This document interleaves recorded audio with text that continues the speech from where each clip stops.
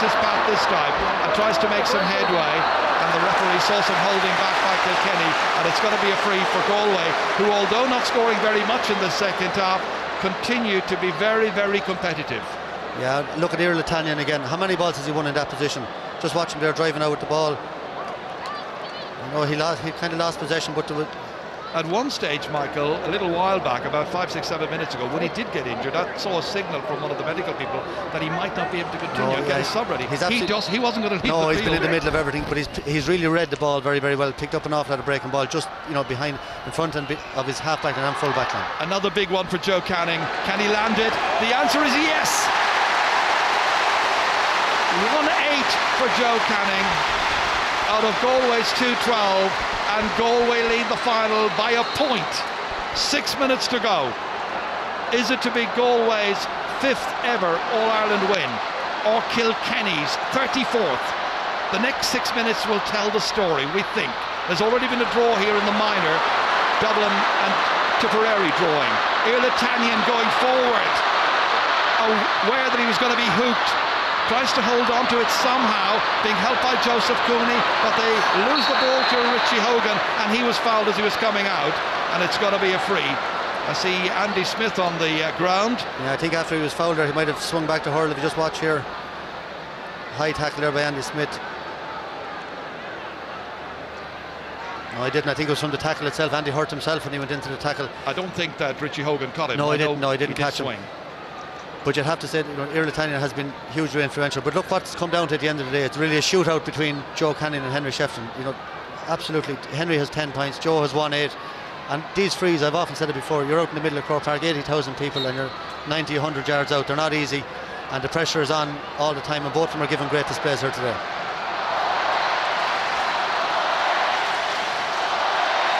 Free coming up for Henry Shefflin.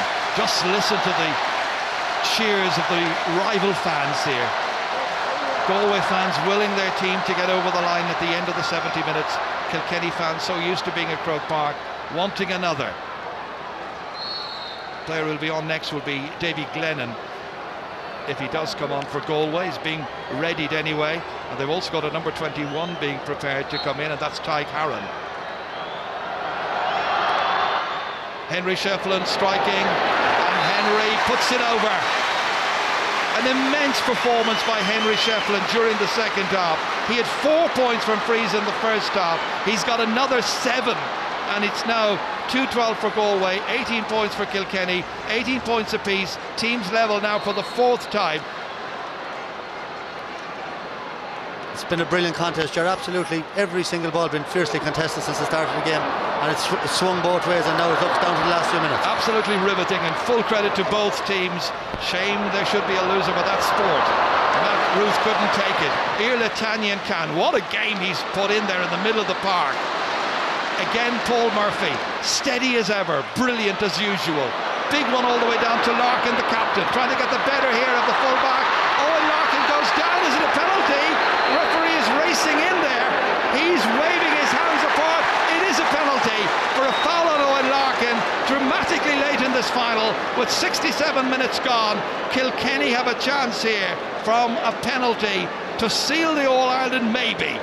This is how it came about. Larkin going down, goalkeeper came diving out, and there was a back there as well. And uh, James Skehill has got a yellow card for that, but there could be further trouble ahead.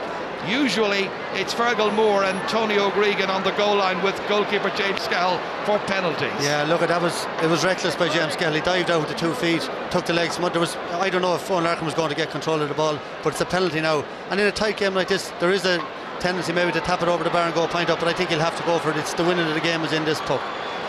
Henry Shefflin, 61st championship match for the 33-year-old from Ballyhale. He's got 11 points in this match so far, seven of them in the second half. The team's level at 18 points apiece, or 12 to 18 points.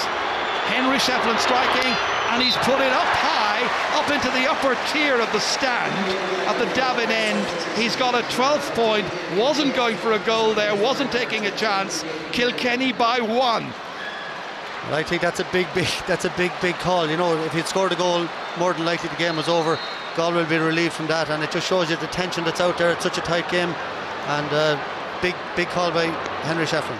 Davy Glennon has come on, and Damien Hayes is the one who has been taken off the Galway team. Who's going to win it? Kilkenny marginally ahead. Galway still with possession here, and Iarla Tannian up into the clouds. Back down it comes into the hand of David Burke. Fouled, free in. Chance for Joe Canning to come out and to get another one. He's got a goal in eight so far, and his team is a point behind in the 2012 All Ireland hurling final.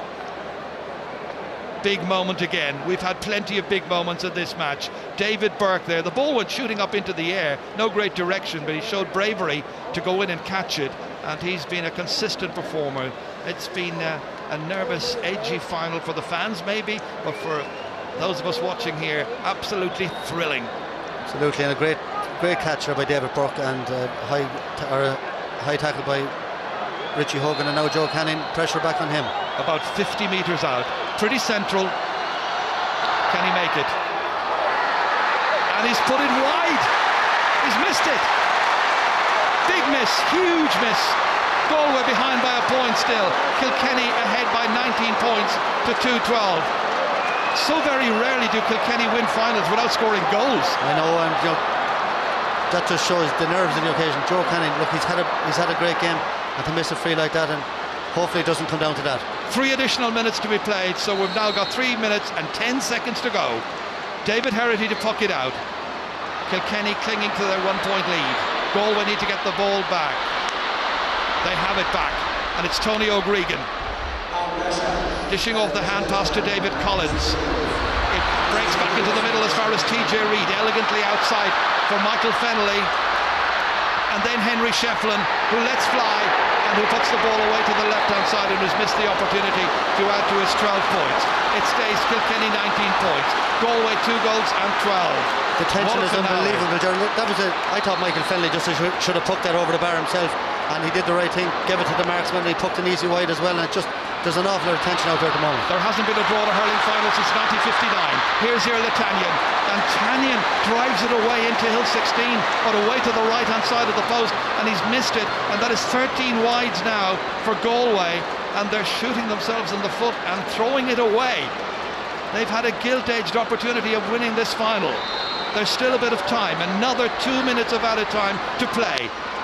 Out comes the puck out through David Herity. The next score is crucial now. Shefflin Possession is crucial. Shefflin again masterminding this performance by Kilkenny, but he's dropped it short. And James Skehill drills it out into the middle. The referee allows play to continue as Tommy Walsh went to the ground there. Cyril Donnellan was his marker. It's going to be a line ball for Galway. The manager's pacing up and down.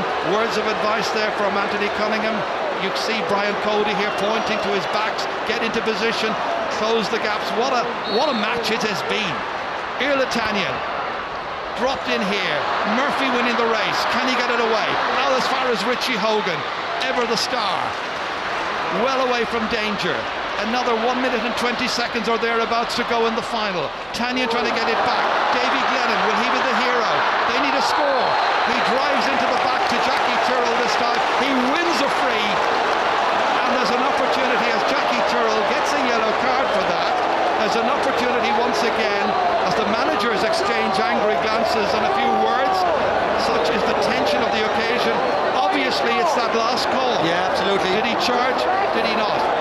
well, I, I, think there was a ball there in the wing. Tommy Walsh attacked the ball, might have been fouled, didn't get the free in, Davy Glennon just ran into him there. And Brian Cody, very, very animated, and Anthony Cunningham standing his ground. And look, at, that's what happens in Ireland finals. This to tie up the All Ireland final and take it, I imagine, to a replay. Joe Canning with a goal and eight. The pressure of the entire County Galway on his shoulders. He's got it right. He's put it over the bar. A goal and nine for Joe Canning. After the he had the composure and the confidence to step up and to take it, and surely now to bring the match to a replay. 20, 2 9 to 2 13 to 19 points, and the referee has blown the whistle. It's all over for the first time since 1959 when Kilkenny drew with Waterford. The match is going to go to a replay. Brian Cody, Anthony Cunningham, still with a few words there. Much of it to do with that last call, I think, but it all ends very amicably And the two I managers. don't know how amicable it was. Brian, Ho- Brian Cody was pointing They the were finger. smiling. They, they were smiling at the end, but the tension. I don't think I've ever. It's a long time to experience tension like that at the end of a game. And I'd have to say, just from a player's point of view, a personal point of view, I'm delighted that it didn't end with Joe Canning missing the free. You know, after he played so well over the years as well. He's been such a talisman, talisman and to then have the composure to knock over the last by point. And I think a, a draw is a fair result today. You can see the relief, I think, from both sets of players. Don't forget that both matches today ended level because Dublin's Minors drew 116 to Tipperary's 213. Anthony Cunningham there with a shake of the hands of referee Barry Kelly. Look, full credit to both teams. They gave us a marvellous, marvellous match because I know a lot of people who didn't give Galway any chance whatsoever, but they stormed into that match and they were full value for their lead at half-time of five points. They gave away a few stupid frees towards the end of the first half. Kilkenny had the better of the second half. Henry Shefflin was a leader all the way through, got 12 points in all. Galway are already in the wind down. They're already preparing for the replay. We're looking forward to it, but uh, what a conclusion to that game. Absolutely, and you know, it's a cliche that a draw is a fair result, but I think on the balance of play, I think Galway completely dominated the first half. They were all over Kilkenny, and Kilkenny were in big, big trouble. They didn't spend much time in the dressing room, they were back on the field, and then they took over. Galway struggled to score for a long time in the second half, and yet, you know, they got a goal. Niall Burke got a great finish. They made some big calls on the sideline, taking off Niall Burke, who scored 1 2, bringing on Conor Cooney, taking him off again. They're big calls in our Ireland final, and at the end of the day, I think a draw was a fair result. And Henry Shefflin had a penalty he's scored many of them over the years. He, he, tapped it over the bar, and I think that was a big, big decision by him. It left Galway within a point, and at the end of the day, they got the draw, and I think they deserved it. And look at great, an awful lot of as I say. Maybe not the highest scoring, most free-flowing game of all time, but I really enjoyed it. It was a great battle, and looking forward to the replay. Don't forget, Michael, that Galway got just a, a goal and a point from play during that entire second half. They were dependent on Joe Canning to get three points from frees as well. Replay of this match will be Sunday, the 30th of September, and that is an occasion which I know every Kilkenny and Galway hurling fans will not want to miss. They have uh, a few weeks now to prepare for it. Who's going to be the more disappointed? Oh, I think probably, you know, I think Galway will be the more disappointed. I think they'll be both obviously very disappointed, but I think Galway, you know, they're in such a great position. Uh, the huge support up here. Kilkenny have won so much, you know, and like they're a great team, but nobody outside of Kilkenny, Cork, and Tip, as we discussed before the game privately, has won an All Ireland since 1998. And uh, I think since Offaly in '98, I'm not bringing that into it because of that. But uh, look at a great occasion, the replay on the 30th of September, and look, we really look forward to that. And it'll give people three weeks to get a few quid back in their pockets and come back to Dublin again for the weekend. Well, the last time there was a draw, it was 1959. Kilkenny and Waterford drew on that occasion, and Waterford, who might well have been seen as the underdogs at that stage, went and won the replay. Will Galway do something similar? Anthony Cunningham there with uh, Matty Kenny and Tom Helebert right in the thick of that, and having words with their charges.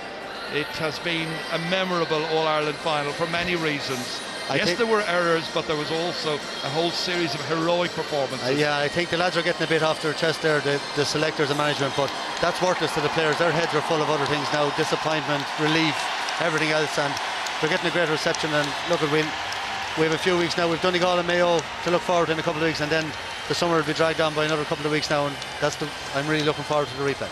A reminder then of the score at full time. It's Galway 2 goals and 13 points. Kilkenny 19 points. No cup today, Michael, but a lot of good memories.